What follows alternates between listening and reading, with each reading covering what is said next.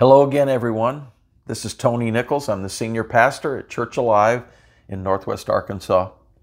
So glad you've joined today. I want to speak to you about how to turn trials into triumphs. If you have a Bible or an electronic device, I'll read to you out of James chapter 1 in just a couple of minutes. You know, in the early church, they faced a lot of persecution and even horrendous trials. As Christianity began to grow, the devil was trying to stomp it out because it was the true authority that crushed and defeated him, what Jesus did, and reestablished the kingdom of God that took precedence over him and his kingdom. There's a lot of religion that really wasn't the, the plan of God. It became more man made rituals. And there was a culture, the Romans, that wanted to force you into their mold. So, as a Christian, as you began to walk with Jesus and proclaim the gospel in the kingdom, many of these Christians were beaten with rods or whips. Some of them, if they wouldn't recant, were run through with a sword. As gruesome as this is, some of them were dipped in hot oil and hung up at Roman garden parties, literally to light up the night. Not only was that horrendous, but what a stench. Oh, just how barbaric. Others were fed to the lions in the Colosseum or even stoned. So, those are some pretty significant trials. As we read this scripture, that's the context and the backdrop that I wanted you to have for what James, the half brother of Jesus, was writing as the Holy Spirit spoke to him. So, may the Holy Spirit give us revelation and be our teacher today. And would you go to James chapter 1 and start with me in verse 2? It says, Consider it all joy, my brethren, when you encounter various trials, knowing that the testing of your faith produces endurance. And let endurance have its perfect result, so that you may be perfect and complete, lacking in nothing. But if any of you lacks wisdom, let him ask of God, who gives to all generously and without reproach, and it will be given to him. But he must ask in faith without any doubting, for the one who doubts is like the surf of the sea, driven and tossed by the wind. For the man ought to not expect that he will receive anything from the Lord, being a double minded man, unstable in all his ways. So, I want to talk to you today about how to turn trials into triumphs. It is just a fact that because we live in a fallen world, we're in a place where Satan has a lot of deception and influence over people, even as we have victory in the Lord and are walking through this life, there are trials. There are temptations, there are testings, there are these applied pressures that you and I experience. Instead of getting stuck in those, how do we learn to overcome and walk in a place of victory? So, this is how, first of all, we respond to trials. We will all have an initial emotional response. When you have a trial, maybe there's a big bill you weren't expecting, or there's a car accident, or somebody's angry and they reject you, or maybe there's a financial calamity.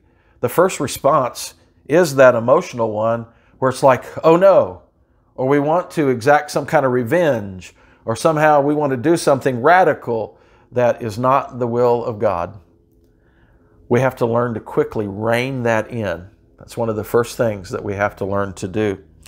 Because we are brethren, it's interesting, he says, Consider it all joy, my brethren. That word simply means that we are a new family born again through Jesus Christ, and that we have at our access the Holy Spirit, the Word of God, and the body of Christ that can come alongside and they partner with us and we partner with them. We're not alone in these trials that we face. Now, the enemy wants to get you at a place where you think, I've got to do this on my own. I'm ashamed or I can't tell anybody. Those are all mistakes, friends.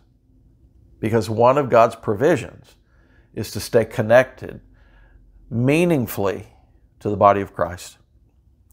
So we are to count, consider it all joy when we encounter various trials. He's not saying, I'm so excited that I'm suffering and in this trial. What he's saying is this the word count or consider there means that we make a determination. I'm going to make a choice to trust God, to discover how God would have me handle and deal with this and respond because there's joy, there's victory on the other side if I'll do this God's way. You can take the long way around or you can take the short way through. Choose and determine that you're going to trust God and His promises by faith, and you'll find that your trials will be shortened. Jesus gave us an example, and it's in Hebrews 12 2. You can write it down. It says that He endured the cross and despised the shame for the joy on the other side. He determined to embrace the suffering that literally purchased our salvation and defeated the devil because of the joy on the other side that you and I would come to know Him and follow Him in salvation. Jesus promised us in John 16 33, in this world you'll have tribulations, but be of good cheer. I've overcome the world. There is a way to overcome these trials, these testings. So, the second thing after we learn to respond, not emotionally, we all do it, stop as quick as you recognize that and turn to the Lord.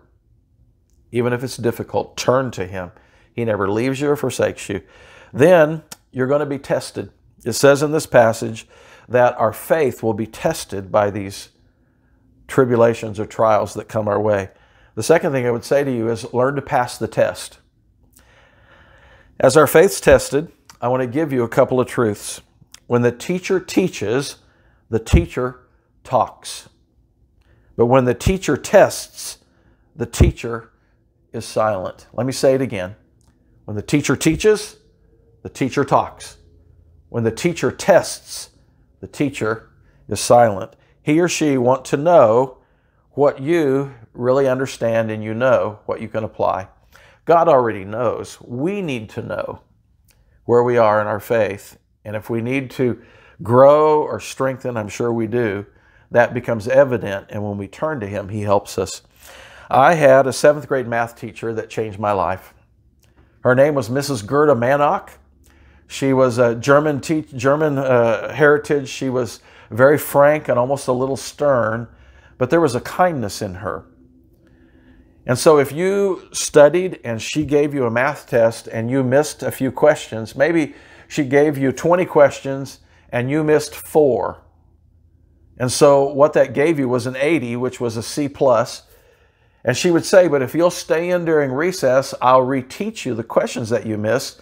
And if you can retake it and get the right answer, then I'll credit it at 95 or 100%, whatever you earn. She called them learning opportunities. She would mark red on your paper and out to the side mark LO. It meant learning opportunity. So you had to sacrifice recess, let's just call that placating the flesh, and you had to stay and in the help of the Spirit receive some new teaching and you could pass the test. Actually, I learned that in the seventh grade from my math teacher, and God brought that spiritual application to me as a young man, probably my late 20s. You're going to have to respond to the trials and the tests. You're going to have to pass the test. And He will teach us how to grow in perseverance or endurance. We have to trust Him no matter what the emotions and circumstances seem to declare. My confession is God, I believe you and your promises, and I don't believe my circumstances. And I have to say to the enemy, You're defeated. You're trying to bully me, I'm going to bully you. I have authority over you. I'm not going to believe your lies. I'm not going to give in to the doubt and the unbelief. Yes, I have done that. But I'm learning quickly to stop that and really confess that I trust the Lord, say His word, and not let the enemy control my life. Here's the third thing that I to encourage us to do. After we respond to the trials in a godly way, we pass the test. And I've had to take a few tests several times. Don't beat yourself up over that. Each time you learn a little more, you will pass then embrace a part of the maturing process. I like quick results. I like to get 100 on every test the first time. And I can't tell you that I've done that very many times. But the longer I walk with the Lord, the quicker I take the retest and learn because God's way works its best. It's a process, and that's the challenge for us. We like quick results. We're a fast food culture. We want to drive through, meet it, eat it, and beat it, and get on with whatever we want to do. But the Christian life is not a fast food restaurant, it's a process. The process of endurance and perseverance will have its perfect results in this. It will complete its work. So, without going into great detail, 22 months ago, I had a ruptured colon injury. I've had three or four surgeries. I have one more to go. I have a large protruding colon and small intestine that they can push back in and fix, but I was required to lose 30 pounds. A little embarrassing. I normally had taken care of my body more than that, but I did. I got sloppy. I'm responsible. So I had to go on a pretty extreme keto diet. And what happened is that I lost about 17 pounds in about 18 days. And I thought, this is easy. Then my body plateaued. and for about two and a half weeks, it didn't matter what I did, eating correctly. I, I would fast, I would cut my calories in half. And, and then three and a half weeks, two and a half weeks later, I gained a pound. Oh, I was frustrated. And the Lord was saying to me, I want you to learn to persevere. I want you to learn to endure. I said, But God, I want to lose this weight and I'm doing all the right things. And He said, It isn't just about losing the weight. I'm teaching you a whole new lifestyle because when you're done and this gets fixed, I don't want you going back to eating all the sugar and all too many carbs and all the things because you have said to me, you don't belong to yourself anymore. You belong to me, the Lord, even your body. And I want to keep you healthy and last a long time because I want to use you. That's humbling. So, this process isn't just about losing weight, it's also about learning a new lifestyle and new appetites and being content with that. So, these trials in your life, God doesn't cause them, but He'll use them. And He's often after not only delivering you from the trials, but giving you a new culture, a new appetite, and a new lifestyle called the kingdom of God. Here's the last thing that I'll share before we draw this to a close. Ask God for His wisdom and His instructions. We respond to the trials and we get over the flesh and the reaction and we respond to the Spirit. We pass the test. We have to take it a few times. We embrace a part of the maturing process. It's a process because God's not only after the issue, He's often after a long term change. The last thing is we ask God for His wisdom and His instructions. Wisdom is taking the knowledge of the Lord with understanding and learning how to apply it. We talk a lot, we know a lot, we just live a lot less than what we talk and know from God's Word. He doesn't reproach us or shame us or condemn us, but when we ask for wisdom, He doesn't always give us what we want, He gives us His wisdom. So I'm on the plateau. I'm asking the Lord, What do you want me to do? Why won't this change? And He said to me, I want to teach you how to fast a couple days a week. And I ignored that for two weeks. He was speaking to me. And finally, I said to the Lord, okay. I tried all the things that I knew how to do, and I gained a pound. I wasn't losing. And I had to admit to the Lord, I hate fasting. I love food. and so He has been teaching me how to fast unto Him, not just fast for my weight loss, and how to reappetite me so that I eat for the purpose of health and the purpose of strength not as a, an escape to medicate when I'm discouraged or an overpleasure. It's okay to enjoy a meal with people, but sometimes I would just use that as an excuse to overeat. So he began to give me his wisdom and he said, This is how I want you to handle this. And as I'm doing the things of the Lord, it's beginning to come off again. I'm headed toward the goal, not only of getting this hernia fixed, but of living a different life. So that's how you turn trials into triumphs. So when we hear God's wisdom, we must fight the fight of faith and obey what He tells us to do. We must not be double minded. I've had a couple times in these last seven and a half weeks as I've been on this that I would do really well for a couple weeks, and then I'd have a few hours where I thought, I just need a big piece of cake. I didn't need a big piece of cake.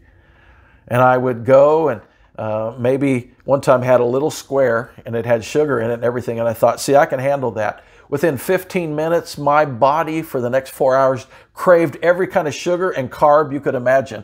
I had these thoughts of rush to the store and buy peanut M&Ms. Go over here. It's Wednesday at, at um, a particular restaurant and you get free pie. It was amazing what went through my head because I left the wisdom of God and I gave in to my flesh. Now, by His grace, He helped me rein that in. But it taught me again that I cannot walk in the flesh sometimes and walk in the Spirit. I have to learn to follow God. So, what you see in James, and I'll close with this James was the half brother of Jesus. And when Jesus was here as the Messiah, James didn't receive him. He rejected him, he resisted him. But after Jesus rose from the dead and he appeared to James, James had his aha moment. He was converted and began to really follow Jesus. By 45 AD, he was such a mature man in Christ and the kingdom that he became the leader of the church in Jerusalem, even among the apostles. But James began to discover something by about 50 AD, and the Holy Spirit inspired and wrote through him the book of James. He said, Many believers know the truth, talk the truth, but we're not living the truth. So the book of James has 54 um, directives and even commands on how to take the truth of God and put them into practice. And the basic truth of James is if you know the word and you do it, you'll be blessed in all your ways. So here's James. He is really leading for about 15 years. And when Paul was converted and their champion to persecute the church was destroyed, they came after James and they said, You know, we're going to get you because we want to shut the church down. One day they trapped James in the temple outside and they said to him, Renounce Jesus as Messiah. And they wanted him to spit on the ground and trample the blood of Jesus underfoot. It's what he represented. And instead of him doing that, he stood up and began to preach.